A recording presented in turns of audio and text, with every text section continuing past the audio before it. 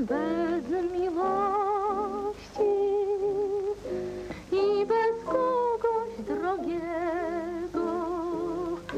Twoje serce dlatego. To była jakaś fascynacja, no trudno, proszę pana. To była jakaś indywidualność. Mówię panu, po jego towarzystwie inni mężczyźni wydawali się monotonni.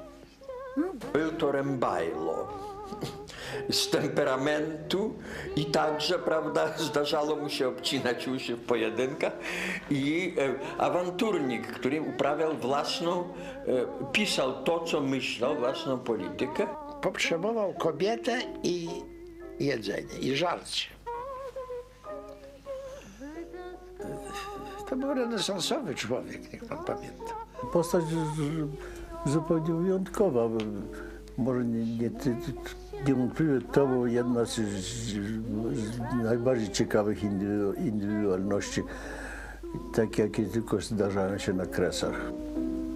Na ogół każdy tę dziecięcą chorobę lewicowości w tamtych czasach przechodził. Natomiast Mackiewicz to jest dość wyjątkowy.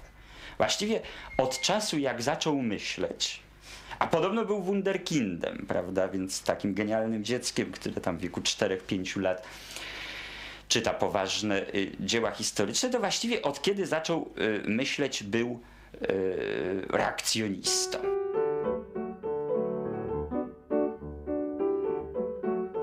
Urodził się w Sankt Petersburgu w 1896 roku. Jego ojcem był Antoni Mackiewicz, natomiast matka Maria była z domu Pietraszkiewiczów. W związku z interesami ojciec y, przeniósł się do Wilna w 1907 roku. Y, y, Był przemysłowcem, często podróżował. Y, mm, O ile y, wiadomo, to y, był człowiekiem usposobienia dość romansowego, więc jeżeli y, Mackiewicz y, y, coś odziedziczył po ojcu, to właśnie y, powiedzmy e, niespecjalne respektowanie e, zasady wierności małżeńskiej. Prawda? I warto przypomnieć, że bratem, młodszym o 6 lat, bratem Stanisława Mackiewicza był Józef Mackiewicz, pisarz, wiadomo, znakomity, aczkolwiek no, znów nie ma co ukrywać, że stosunki pomiędzy braćmi właściwie nigdy się dobrze nie układały. Mackiewicz już kiedy wybuchła wojna w 1914 roku podobno próbował przedostać się do y, Legionów. Y, To była, y, mówię, próba, więc oczywiście y, nieudana. Natomiast y, mm, równoległą strukturą, tylko konspiracyjną do y, legionów, ale o charakterze wojskowym, była przecież y, Polska Organizacja Wojskowa. I Mackiewicz, który znalazł się w Warszawie, został członkiem y, Polskiej Organizacji Wojskowej. Zresztą wtedy również po raz pierwszy w życiu, zresztą przypadkowo w tramwaju spotkał Józefa Piłsudskiego. Kończy się wojna, kiedy y, niepodległość wybucha, e, no jest oczywiście cała płonąca granica wschodnia i tutaj zaczyna się pewna epopeja żołnierska Mackiewicza. Mianowicie y, wstępuje do oddziału zorganizowanego przez y, braci Dąbrowskich. To była dość osobliwa formacja, którą właściwie można porównać i zresztą już wtedy porównywano do e, oddziału Kmicica e, z XVII wieku. E, A więc y, o no, niezbyt wysokim poziomie dyscypliny, prawda? Natomiast o wielkiej brawurze, o wielkiej e, odwadze, no, o charakterystycznym składzie socjalnym, prawda? To był taki oddział młodych ziemian po prostu, młodych, młodej szlachty. W trakcie jednego z urlopów y, 13 lutego 1920 roku w warszawskiej katedrze świętego Jana odbył się ślub Mackiewicza y, z Wandą Krachelską. To historia dość y, romantyczna, ale w swojej, powiedziałbym, prehistorii. Mianowicie y, sześć lat wcześniej y, Mackiewicz jako osiemnastolatek zazdrości o dwunastoletnią wówczas, a więc w wieku Sienkiewiczowskiej Julii, swoją przyszłą żonę, zazdrości dokonał zamachu samobójczego.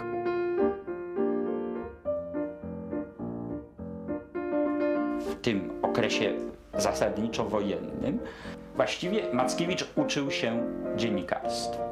Yy, Współredagował dwa pisma monarchistyczne wydawane przez yy, organizację, do której Mackiewicz należał. Z tym, że wszyscy prawie członkowie tej organizacji poszli na ochotnika na front na czele z jej przewodniczącym księciem Zdzisławem Masalskim i właściwie większość z nich poległa.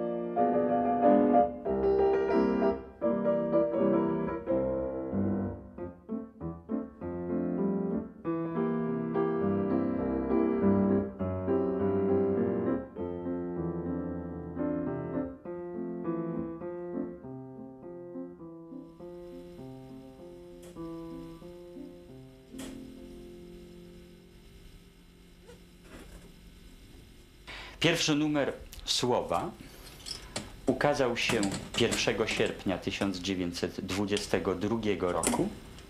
To środowisko, które y, sfinansowało i, dało mm, jakieś podstawy organizacyjne Słowu, to byli ludzie, o których no, można powiedzieć słowami y, ojca Sir Winstona, Randolpha Churchilla, że na prawo od nich była już tylko ściana.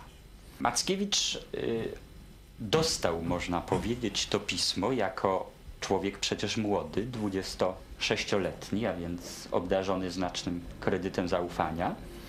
I trzeba powiedzieć, że mimo, że Mackiewicz pewnymi swoimi, nazwijmy to, wybrykami stwarzał pewne problemy, no to oczywiście był to wybór najlepszy y, z możliwych. Nieomal codziennie przez te 17 lat ukazywał się jego wstępniak na pierwszej kolumnie. To były, te jego wstępniaki były czytelne. To znaczy, on nie używał martwego języka dziennikarskiego, bo ten martwy język dziennikarski już funkcjonował e, też w międzywojennym dwudziestoleciu. To był człowiek, który, k- którego e, władza, władza nad językiem była tak dobra, że on nie używał tych wytartych, rozmaitych klisze, tylko każdy jego e, wstępniak był żywym tekstem. Lubił się podpisywać, podpisywać swoje artykuły jako CAT, czyli C-A-T. To jest z opowiadania jego y, ulubionego pisarza Rudyarda Kiplinga o kocie, który chodził własnymi drogami. Trzeba przyznać, że to e, była mm, doskonała taka autocharakterystyka y, tego, tego pisarza. nie nudził. Przed wojną mówiono, że Mackiewicz, ten y, naczelny konserwatysta i monarchista II Rzeczypospolitej, mówię to trochę żartobliwie, pisze bolszewickim językiem albo proletariackim językiem. I to było na rzeczy. On pisał niesłychanie wprost, bezpośrednio, prosto, jasno, a zarazem zwarcie. To się rzadko takie talenty zdarzają. Nie można tego, nie można tego się nauczyć. Pan Bóg y, daje komuś talent Picassa czy, y, mi- czy wielkich malarzy. Również rozdaje talenty publicysty. Jak słowo przychodziło do Warszawy rano z kurierem z Wileńskim, to już czekało szereg kurierów, znaczy chłopców redakcyjnych, wszystkich redakcji, żeby schwycić od razu słowo, żeby już móc skomentować. To, to słowo czytała, właściwie czytała Polska. Z pisma lokalnego, w końcu małego, y, małego miasta, przecież Wilno miało 200 tysięcy mieszkańców II Rzeczypospolitej, stało się pismem ogólnopolskim, a, mo- a można nawet powiedzieć, że pismem, które było, można było kupić w Królewcu, czy w Berlinie, czy w Pradze, a podobno nawet w Paryżu. Dziś to y, wydaje się wręcz nieprawdopodobne, że tam w zespole redakcyjnym było 8 osób plus y, korektorka. Y, a jednak pismo wychodziło codziennie. Drugie pismo konkurujące z, ze Słowem nazywało się Kurier Wileński. Jego redaktorem był Kazimierz Okulicz, który e, miał opinię masona e, i e, była pomiędzy Mackiewiczem i Okuliczem e, zadawniona m, wrogość i nawet zdaje się pojedynkowali się raz. Wprawdzie może tutaj ilość tych pojedynków jest trochę przesadzona, tak y, z pewnością da się ustalić siedem jego pojedynków w okresie y, tym y, wileńskim. Ach, o wszystko, proszę pana, polityczne, o kobiety, o co tylko można, bo każdy pretekst był dostatecznie dobry, żeby był pojedynek. To był, y, wie pan, to była epoka pojedynków, teraz nie ma pojedynku, bardzo żałuję, to było bardzo zabawne przecież. No nie? Redaktor Okulisz z Kuriera Wileńskiego, czy Hulewicz, tutaj ten miał temblak, ten miał rozorane czoło, Mackiewicz był poharatany w rękę. I to było bardzo zabawne, bo to dodawało jakoś, wie pan, temperamentu temu miastu, bo to miasto było trochę senne, dzięki pojedynkom ożywiało. Dorożkarze czytali słowo. Nigdy nie mogłam zrozumieć dlaczego. Czytane było. Czytane było przez ludzi tak zwanych prostych, które jest określeniem zabawnym, bo inteligencja nie chodzi w parze przecież z wykształceniem. To było bardzo czytane. Było to pismo e, konserwatywne, tak zwanych żubrów wileńskich, to znaczy finansowane przez zamożnych ziemian i prowadzące swoją własną politykę, czyli politykę właściwie Mackiewicza, e, która była mm, pośrednia pomiędzy jego własnym awanturnictwem i e, pewne, pewną kontrolą ze strony żubrów. Stanisław Cat-Mackiewicz, to trzeba powiedzieć to otwarcie i wprost, był takim trochę enfant terrible y, konserwatyzmu polskiego. No, na przykład Mackiewicz, y, można powiedzieć, darł koty z klerem, mimo że konserwatysta i Polak katolik, prawda, ale y, no, wyraźnie jego stosunki z kurią arcybiskupią za rządów metropolity Jałbrzykowskiego y, były y, bardzo złe.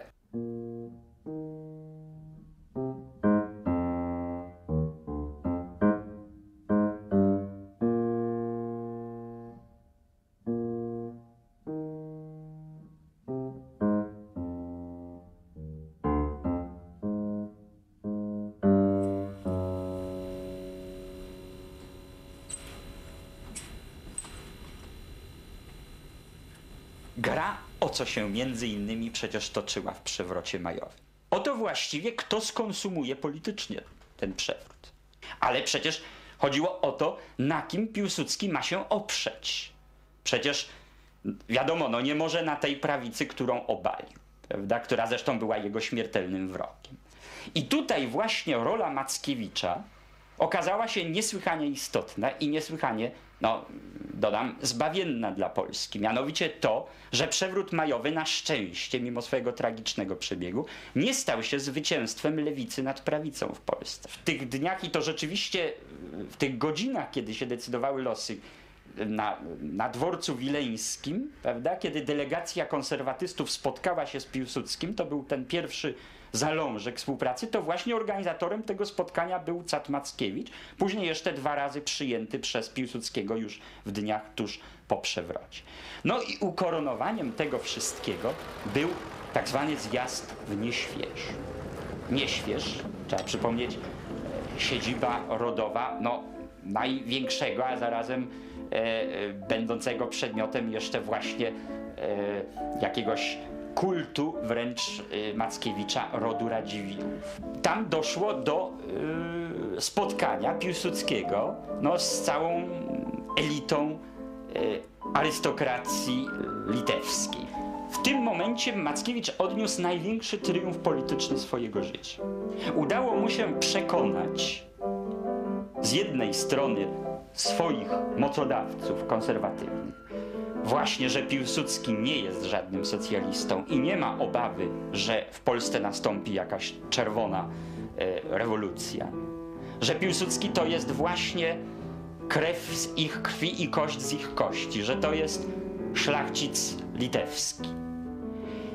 Piłsudskiego z drugiej strony przekonać do tego, że warto konserwatystów potraktować no, jako ten przynajmniej istotny segment y, tworzącego się prorządowego obozu politycznego i tak też stało się y, istotnie.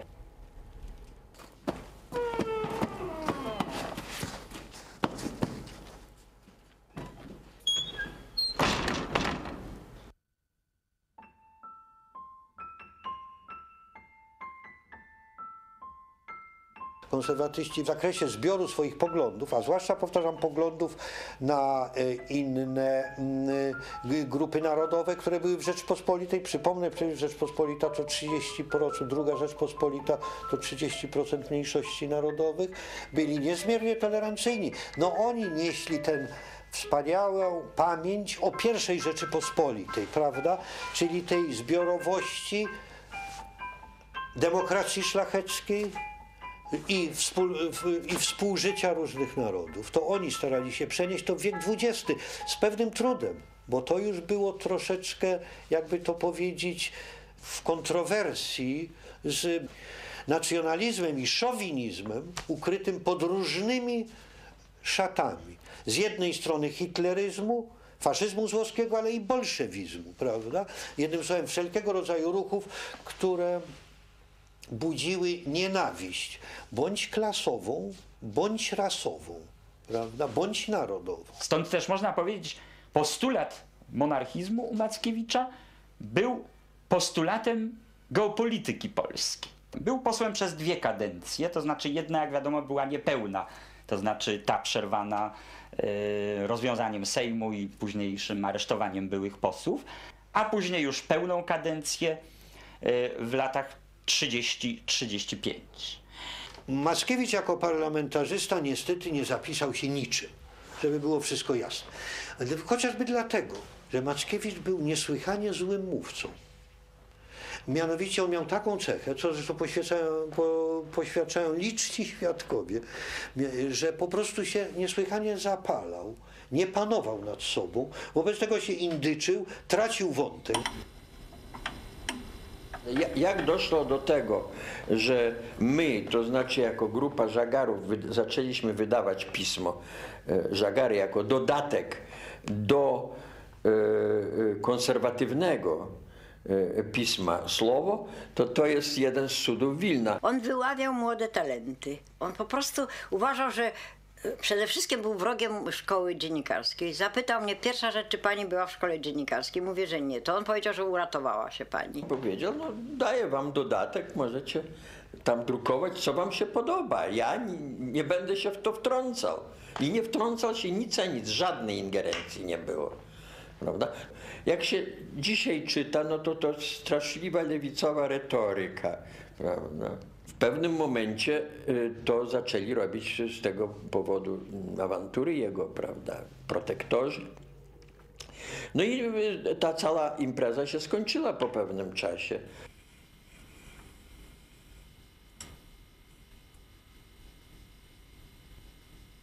Cat Mackiewicz był gorącym Piłsudczykiem, ale Cat Mackiewicz przynajmniej kilka lat życia poświęcił na nieubłaganą walkę z Piłsudczykami. Na przykład protestował przeciwko łamaniu tej nowo uchwalonej konstytucji, prawda? Między innymi przez słynny okulnik yy, Sławoja Składkowskiego o mm, mianowaniu Rydza Śmigłego drugą osobą w państwie, prawda? Co wprowadzało ten system tak zwanego siogunatu, prawda? To znaczy, że tam e, cesarz panuje, czyli e, prezydent, a siogun, czyli e, wódz naczelny e, rządzi. E, krytykował właśnie totalizm, czyli w tym wypadku polskim raczej pewną biurokratyzację, prawda, zurzędniczenie państwa. E, łamanie praworządności na przykład no, poprzez takie rzeczywiście barbarzyńskie akty, jak e, e, słynna akcja palenia cerkwi. Ale myślę, że jeszcze istotniejszy jest jednak ten czynnik polityki zagranicznej, czyli to jest wojna, którą Mackiewicz zaczął toczyć z Beckiem. Pokój jest rzeczą cenną i pożądaną.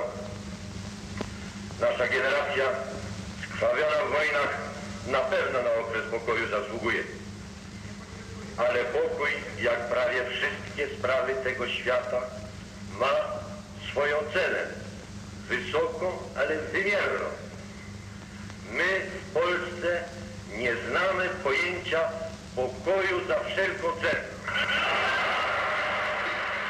Beck był przez y, Mackiewicza oskarżany o to, że doprowadza do sytuacji osamotnienia Polski. To znaczy, że nie przyjmując tego wariantu ofensywnej polityki e, e, proniemieckiej, a antyrosyjskiej, prawda, doprowadza do sytuacji wojny na dwóch frontach. Zdając sobie sprawę z tego, że gwarancje angielskie są nic nie warte, to znaczy, że yy, są nic nie warte chociażby z tego względu, że Anglia nie ma armii stałej, prawda, a więc nie może udzielić pomocy Polsce w razie, w razie starcia, że natomiast Anglia zrobi wszystko, aby Polskę wtrącić pierwszą do wojny z Niemcami, aby zyskać czas na yy, pokonanie Hitlera dopiero w następnej fazie rozgrywki, zresztą przy pomocy sojuszu, którego Polska nie mogła i nie chciała zawrzeć, to znaczy sojuszu z Rosją.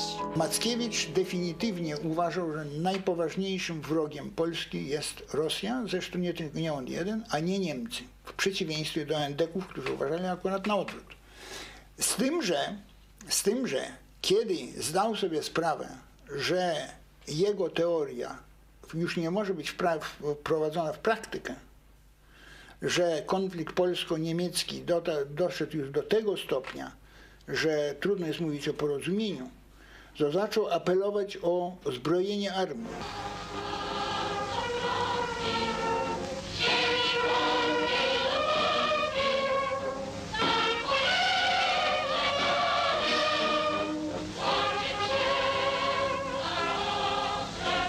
Gwałt zadawany siłą musi być siłą odparty.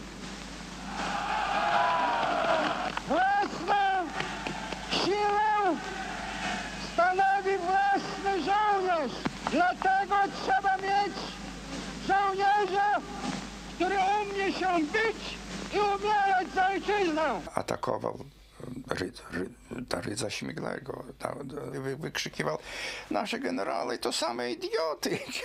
Kiedy generał w Polsce to było bóstwo, to, to, to było coś, coś, się nie, coś się nie kwestionowało w ogóle. I e, co go doprowadziło do Berezy zresztą. Mackiewicz był jedynym dziennikarzem polskim, który za głoszone poglądy poszedł do Berezy na 17 dni.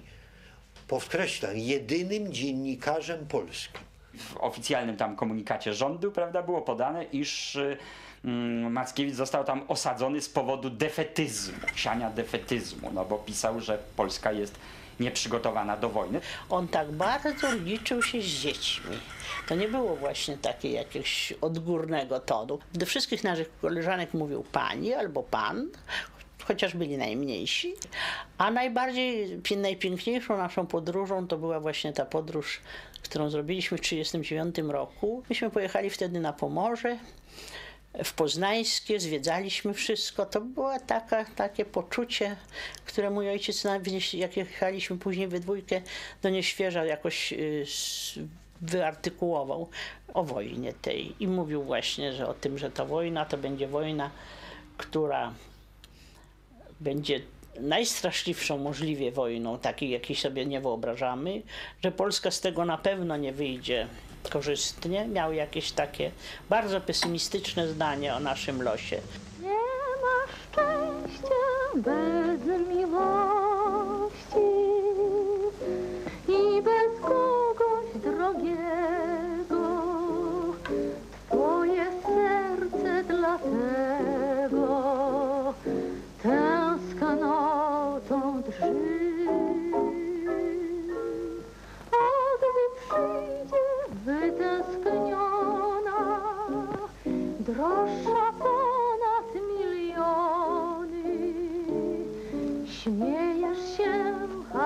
Łez i radujesz się, że już tu jest.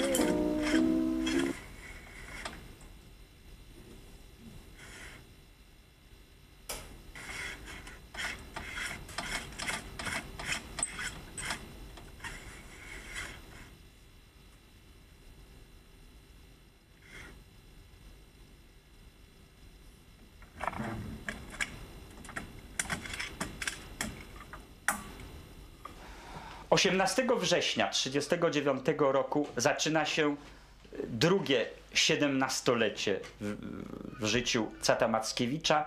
Tym razem jest to siedemnastolecie emigracyjne. Zbliżyliśmy się y, na Litwie Kowieńskiej, gdzie ja uciekłem i on uciekł. I codziennie w kawiarni Kondratis spotykaliśmy się w Kownie. I potem znowu spotkaliśmy się w Paryżu. Został wprowadzony do tej Rady Narodowej.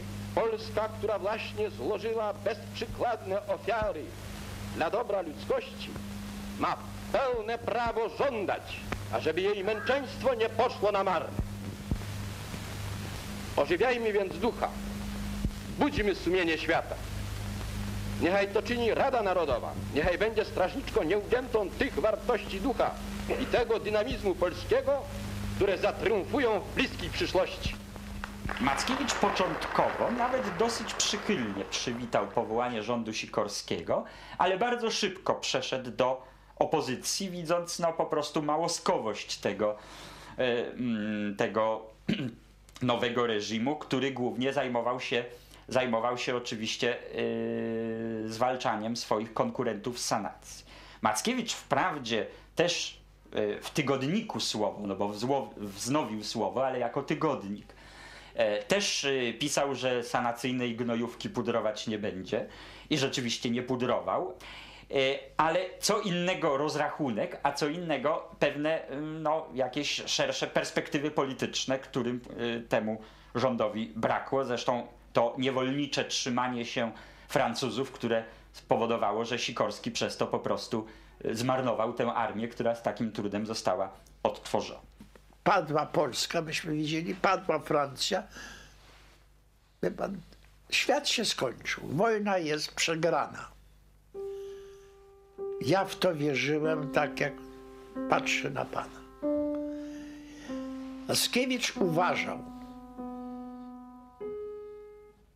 że niektórzy politycy polscy powinni zostać we Francji, przesunąć się do Rzymu i starać się o stworzenie jakiejś kolaboracji. To było rozumowanie oparte na przekonaniu logicznym, że wojna jest przegrana. Wersja nieprzychylna Mackiewiczowi mówi, że y, Mackiewicz namawiał y, Raczkiewicza do podjęcia rozmów kapitulacyjnych i, i, i szukania porozumienia z Niemcami. Wysuwano różne, no, no, już zupełnie absurdalne y, zarzuty no, przeciwko niemu, nawet tam o subwencjonowanie prawda, przez Niemców jeszcze przed wojną, o rzekome prohitlerowskie nastawienie Mackiewicza. Mój ojciec przysłał przez jakiś konsulat w Kownie, ale wie pan, że może naprawdę nie pamiętam przez który, czy japoński, czy jakiś równie oryginalny, papiery, wszystkie możliwe papiery na to, żebyśmy przez Indię pojechali do Londynu. To był 40 rok. I to już chyba byli bolszewicy w Wilnie. A moja siostra y, była już w poważnym stanie. Tak to już musiał być 40, koniec, jakoś tak koniec 40 roku, bo już się spodziewała tego małego Ryszarda. I, I mama ustaliła, że w związku z tym nikt nie pojedzie.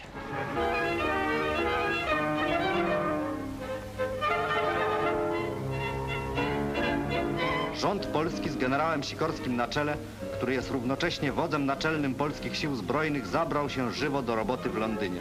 Generał Sikorski daje baczenie na wszystkie części składowe polskich sił zbrojnych. Nawet jeżeli jesteś asem lotniczym, dobrze jest mieć asa w kartach. Wielki szlem. Alarm!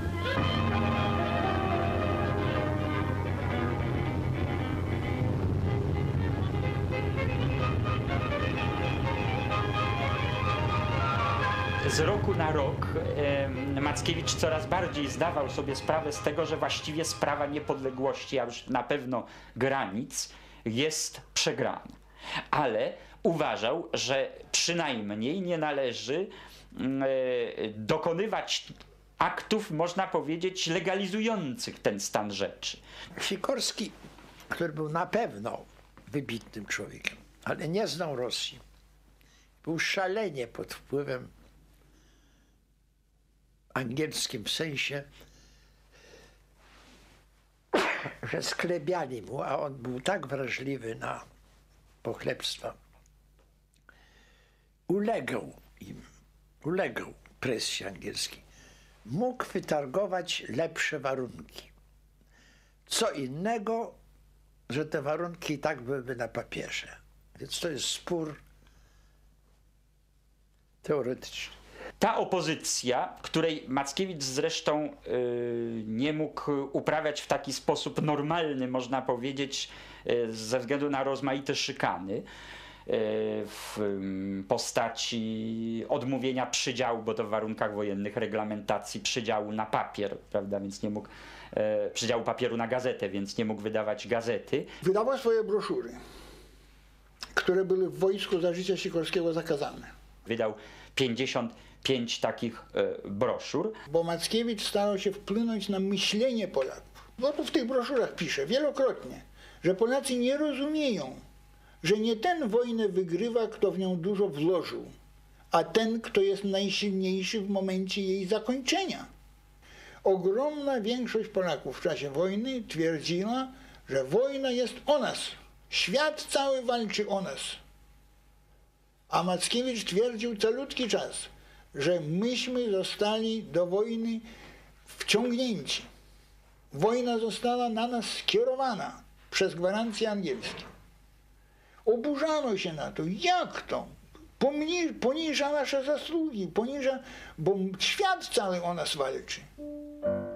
A Mackiewicz pisał, że właściwie sprawa już została skończona i przesądzona, że w Teheranie zdecydowano Europę podzielić na dwie części, wschodnią i zachodnią, czyli, dosłownie użył tego zwrotu, tylko cud może doprowadzić do tego, że po tej wojnie będzie jeszcze Polska niepodległa.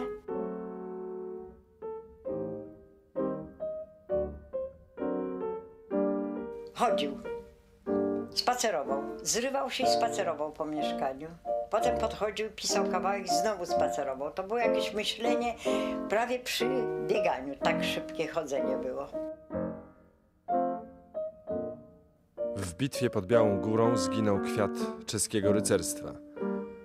Razem z nim odeszły w przeszłość dotychczasowe tradycje i stąd psychika tego narodu uległa zasadniczej zmianie. Zastanawiam się, a może nawet jestem pewien, że po powstaniu warszawskim psychika mojego narodu zmieni się nie do poznania.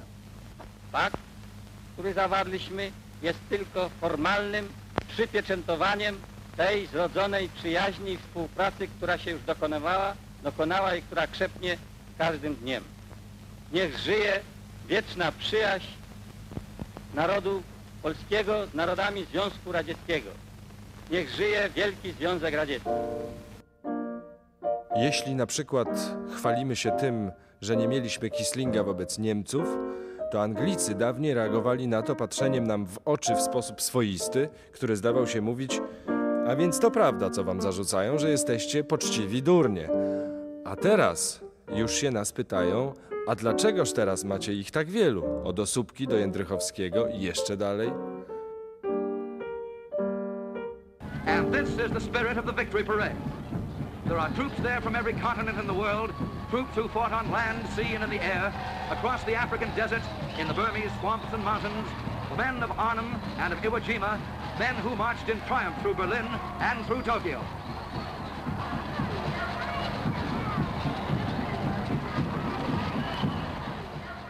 Jestem zdania tych, którzy głoszą, że odrodzić narody moralnie będzie można tylko poprzez powrót do nauki Chrystusa.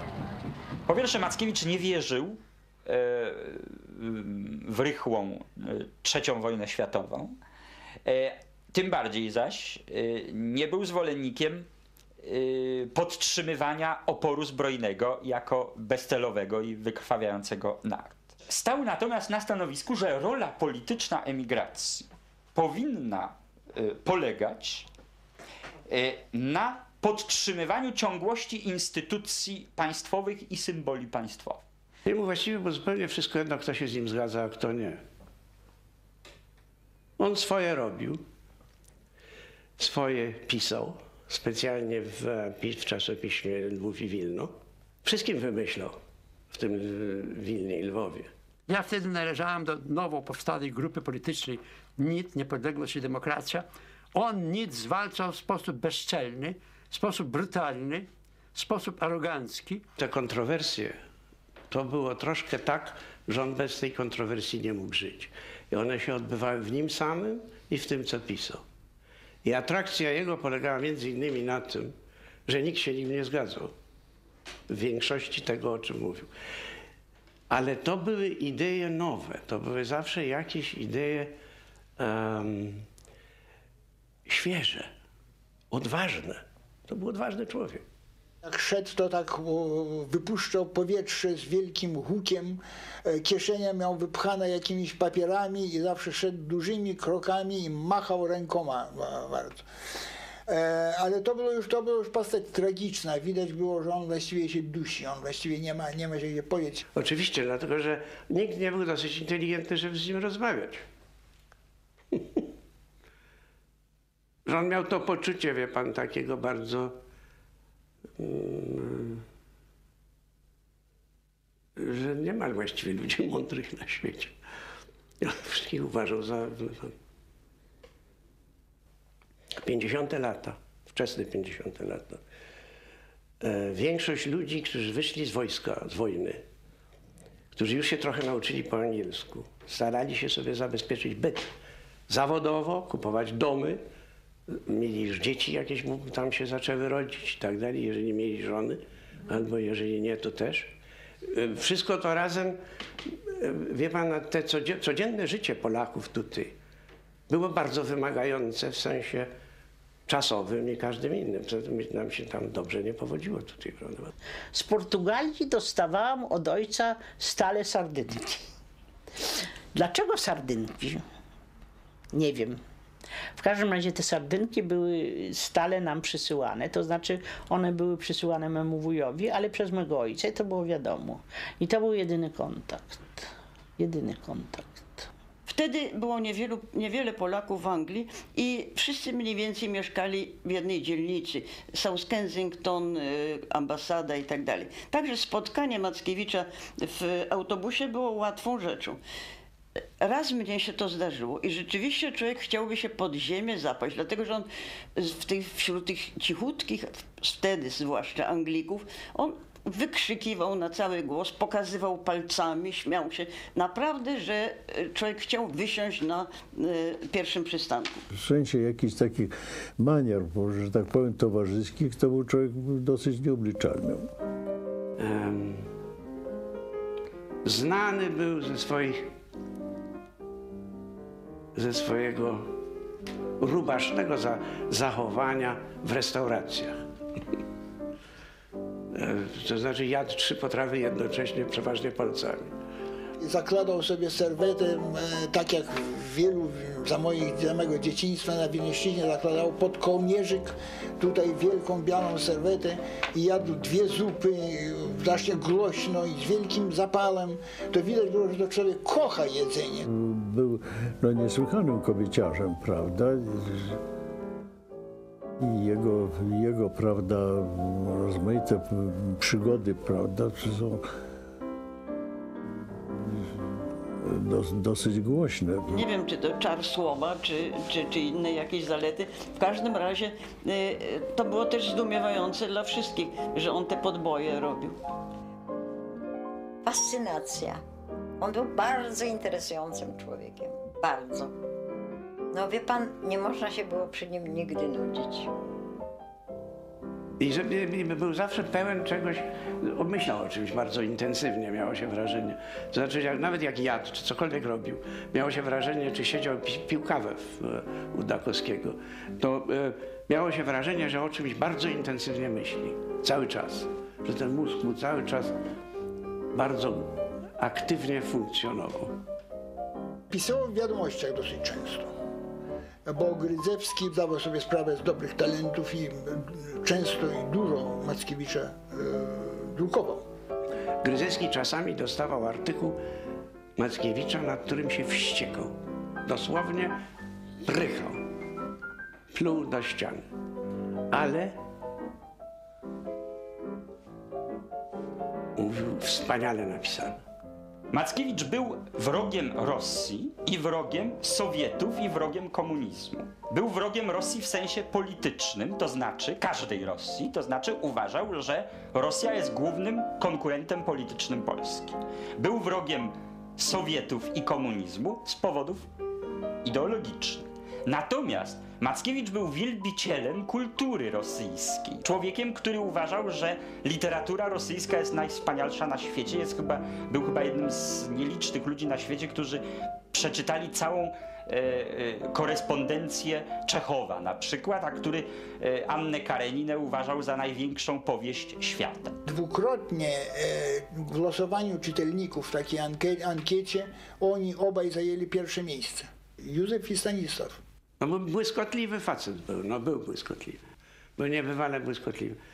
Tak jak jego brat był refleksyjny, tak ten był odwrotny, był błyskotliwy. Nieokiełznany, wulgarny, brutalny czasem. I w słowie, i w, i w mowie. Czasami bardzo szarmancki, a czasami bardzo ostry. Niesympatyczny. E, bardzo szarmancki w stosunku do pań na ogół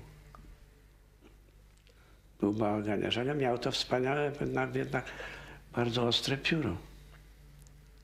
Nie, ja nie mam wrażenia, żeby można było więcej powiedzieć, wie pan, um, o nim jako o człowieku. No, cóż, no. Był dosyć nie, niezwykły. Jako polityk on był nieznośnym człowiekiem. On w kawiarnach wykrzykiwał, prawda, o rozmaitych rzeczach, mówi i tak dalej. A ten pan to jest G, a ten pan jest D i tak dalej. Ja sam musiałem raz interweniować, mówię, niech pan tak nie mówi. On mówi, a co pan tego broni i tak dalej. Jak ja panu mówię, że jest G, to jest G.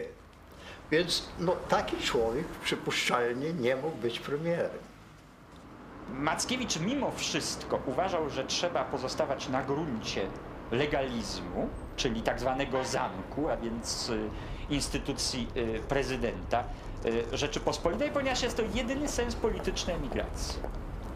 I właśnie w momencie całkowitego, można powiedzieć, osamotnienia prezydenta Zaleskiego przyjął funkcję premiera rządu emigracyjnego.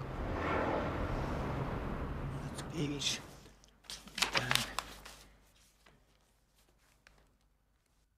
No, Stanisław Mackiewicz, proszę bardzo. Do pana Stanisława Mackiewicza, wiceprezesa czwartej Rady Narodowej w Londynie. Na podstawie artykułów tam takie, takie, tak, tak, tak dalej, ustawy konstytucyjnej mianuje pana prezesem Rady Ministrów. Podpisany prezydent Rzeczypospolitej August Zaleski. Data 7 czerwiec 1954. I tu się zaczyna się pan Mackiewicz jako premier. Jak został premierem, wieczorem przyszedł do nas na kolację. Otwiera drzwi nasza córeczka starsza. Mackiewicz wchodzi i mówi Tadeusz, pierwszy raz Polska ma inteligentnego premiera. Mackiewicz, ten reakcjonista, okazał się można powiedzieć, takim parlamentarnym dem demokratą, prawda? Ponieważ mm, e, uważał, że podstawą polityczną mają być nie owe kanapowe stronnictwa, tylko masy emigracji polskiej. I przeprowadził wybory do tak zwanej czwartej Rady Narodowej, gdzie na około 100 tysięcy osób wzięło udział prawie 5 tysięcy osób, co i tak było o tyle sukcesem, że te 5 tysięcy osób to y, był potencjał ludzki większy niż tych wszystkich partii opozycyjnych, nazwijmy to, wziętych raz. Sam Mackiewicz żartował, że kiedy jeden z odłamów PSL-u, zdaje się, y, y, zwoływał swój, organizował swój zjazd walny, to na ten cel y, wynajmował budkę telefoniczną w Londynie. Z mego punktu widzenia to jeden z najbardziej aktywnych premierów, jakieśmy mieli na emigracji. I premier z głową polityczną, to nie rozchodziło się o to, czy on był z prawej strony, czy z lewej strony. On na przykład nie znosił socjalistów. On mówił straszne rzeczy o Pragierze i tak dalej, nie chcę ich powtarzać. Ze mną był dobrze, bo był winien mi funta, ale, ale z innymi nie mógł pić kawy, prawda? Więc po prostu, e, ale on tak się zmienił, to był inny człowiek. I myśmy doszli do wniosku, jak on przestał być premierem, że nie, on nie ma po prostu miejsca wśród emigracji. Zgłaszam na ręce pana prezydenta dymisję rządu, korzystając z okazji zakończenia pierwszej sesji Rady Rzeczpospolitej Polskiej, powołanej przy udziale rządu, któremu miałem zaszczyt przewodniczyć, a to dla ułatwienia panu prezydentowi najswobodniejszego wyboru premiera i rządu. Podpisano Stanisław Mackiewicz, prezes Rady Ministrów, data 21 czerwiec 55. No więc to był człowiek bardzo skomplikowany i ogromnie nieszczęśliwy. Ludzie chyba, chyba nie zdają sobie sprawy, do jakiego stopnia on był nieszczęśliwy. Ta wesołość taka, to była zupełnie powierzchowna. I został bez, be- bez gospodyni i skazany na celibat mniej więcej. Więc, był, e, więc musiał w obu tych dziedzinach korzystać z usług komercjalnych. Tak. A ponieważ miał mało pieniędzy, to zepchnięty został na, na, naj, na, najtańsze, na najtańsze usługi w obu dziedzinach. I z tego czasu pochodzi jego znane, jego znane powiedzenie jest jeszcze coś gorszego od kuchni angielskiej. To jest kurwa angielska. Więc tak to jest. No i wreszcie ten dramatyczny wyjazd do Polski. E, Sporo ludzi wybierało, jak to wówczas mówiono złośliwie, że wybrał wolność, pojechał, pojechał do, do, do PRL. E, On był jedynym człowiekiem, który wyjeżdżał, w w jego stylu wyjeżdżał z pompą. Oficjalne, wydał oficjalne oświadczenie, które zostało w tutejszym dzienniku opublikowane. Dlaczego on, szlachcic litewski, jedzie, jedzie do, do państwa komunistycznego. Uważał, że rola polityczna emigracji jest skończona. No więc em, ja też wówczas miałem pewien problem, musiałem zrewidować, jak to się do mnie to stosuje i doszedłem do wniosku, że on jednak nie ma racji, że to no, trudno powiedzieć. Jego koniec, jego powrót do tej Polski, prawda, pojaltańskiej, do Polski pod rządami sowieckimi, lepiej, żeby tego nie było. W konsekwencji jego, jego wie pan, całej sylwetki, całej sylwetki, mi się wydaje, że lepiej, żeby tego nie było. Związek Ziem Północno-Wschodnich nazwał go zdrajcą. Brat, e, brat ogłosił e, oświadczenie, że zrywa z nim. E, ksiądz Mysztowicz, e, który walczył z nim w polsko-bolszewickiej wojnie jeszcze, też podobnie. Wielki zawód i wielki smutek. Ale potem szereg jego tych przyjaciół, wie pan, wybaczyło mu. No, wariat, wiadomo. Mackiewicz. kwestia na ile e, poza motywami politycznymi, to znaczy przekonaniem o tym, że e, emigracja już y, wyczerpała swoje możliwości, a że z drugiej strony w kraju no, następuje jakaś liberalizacja, a wyrwać Polski z kręgu państw satelickich prosowieckich się nie uda i tak w tym momencie. Y, Na ile rolę odegrały także pewne motywy no, bardziej przyziemne, prawda? Na przykład kwestia tarapatów finansowych y, Mackiewicza. Bo w końcu to, że pojechał do, do, do Warszawy w 56 roku, wyjechał stąd i wylądował w Warszawie, że musiał mieć jakieś kontakty z nimi przedtem, prawda? Więc to wszystko stworzyło wielki znak zapytania. Dziś w Domu Dziennikarza w Warszawie odbyła się konferencja prasowa z byłym premierem emigracyjnego rządu w Londynie Stanisławem Mackiewiczem, który wczoraj powrócił do kraju. Mój przyjazd do Polski ma charakter ściśle wynika z konsideracji czysto politycznych. Dwa, że te konsyderacje polityczne nie są właściwie konsyderacjami w stosunku do emigracji Polski. Są one konsyderacjami w stosunku do polityki mocarstw zachodnich do sprawy Polski. No i wrócił. Wrócił. I wie pan, że wrócił, to, był, to, to jednak był inny człowiek. Tak jak panu powiedziałam, przed wojną to był człowiek wesoły. Awanturujący się, wesoły i tak dalej. A po wojnie to był człowiek, no, to nie ulega wątpliwości. Jeżeli ktoś wydawał do 50 roku to pismo Lwów i Wilno i wraca, to nie jest wesoło.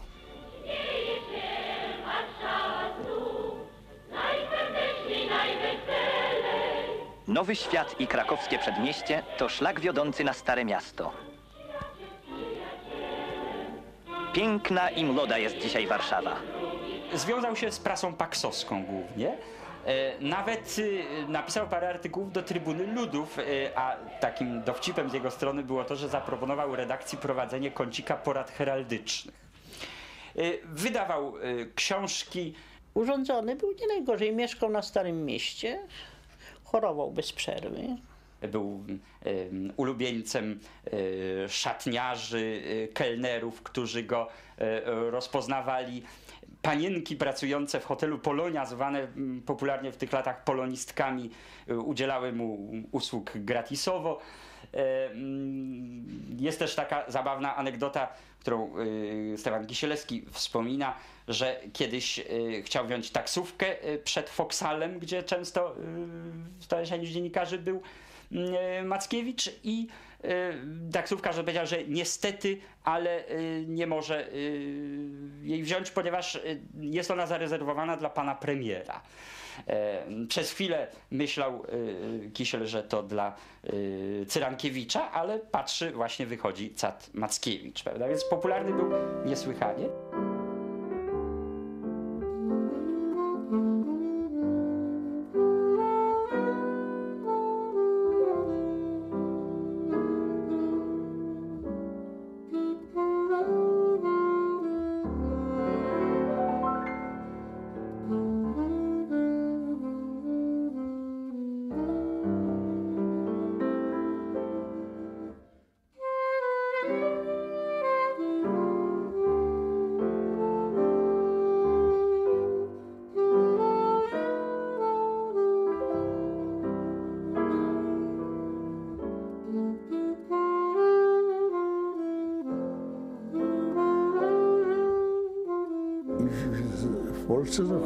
Sposób bardzo przyzwoity. Nie, dał się wykorzystać, prawda, przez e, władze PRL-u do jakiejś działalności e, politycznej. Mackiewicz, a nie kto inny, był jednym z głównych inspiratorów i twórców tak zwanego słynnego listu 34 z roku 1964, czyli pierwszego zbiorowego protestu w PRL-u od pierwszego od 56 roku, prawda, jeszcze no, najwybitniejszych umysłów. Zresztą Mackiewicz też ten oczywiście list podpisał. To świadczy o, rzeczywiście o bardzo dużej odwadze. Tak samo jego korespondencje, prawda, które wysyłał jako Gaston de Syrizy, prawda, które jednak i były tak samo bardzo odważne i też e, tutaj bardzo dużo ryzykował. Kiedy wreszcie bezpieka zorientowała się, y, kto jest owym Gastonem i kiedy wyszła zarazem na jaw sprawa listu 34, to z jednej strony mm, przyszły y, sankcje w postaci natychmiastowego zerwania wszystkich umów wydawniczych na książki, wyrzucenia z dnia na dzień e, z pracy dziennikarskiej w paksowskich kierunkach, no ale wreszcie i sprawa y, poważniejszego kalibru, to znaczy wszczęte zostało śledztwo y, prokuratorskie przeciwko Mackiewicza. Zawiadomiono o y, y, antypaństwowej działalności Mackiewicza, to znaczy o posyłaniu artykułów do kultury paryskiej, prawda? Ale ta, te, ta, to śledztwo się przedłużało. To znaczy koncepcja rządu była taka, żeby się go pozbyć z Polski. I proponowano mu mm, paszport, żeby on wyjechał i żeby nie wracał. I on wtedy właśnie mówił z furią, że ja mm, nadaję się do tego, żeby zgnić w więzieniu radzieckim i nie wyjadę. Nie wyjadę. Marzył tylko o tym, żeby być pochowanym w Wilnie.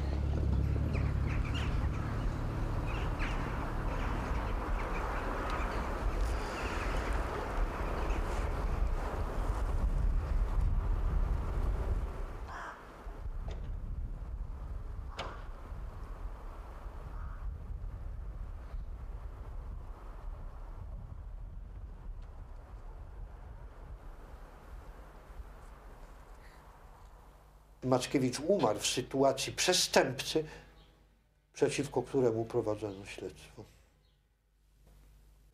Historia Polski w ogóle, czy historia dwudziestolecia, coś takiego, to ona się składa przede wszystkim z mitów, prawda? Są, operuje się ciągle z sztancami. I zasługą Mackiewicza jest to, że on przełamuje te, te sztance. Myślę, że przede wszystkim e, to była wielka swoboda, wolność. E, Nie liczenie się z żadną cenzurą, żadnymi ograniczeniami. E, To było rąbanie tego, co się myśli. E, Po przejściu pół wieku w tresurze e, uważania na słowa, cenzury i tak dalej, to to chyba prawie zanikło. Takich ludzi już teraz dzisiaj nie ma. Wie pan, co tu dużo gadać, to był bardzo wybitny człowiek. Mimo wszystko. Nie ma szczęścia bez miłości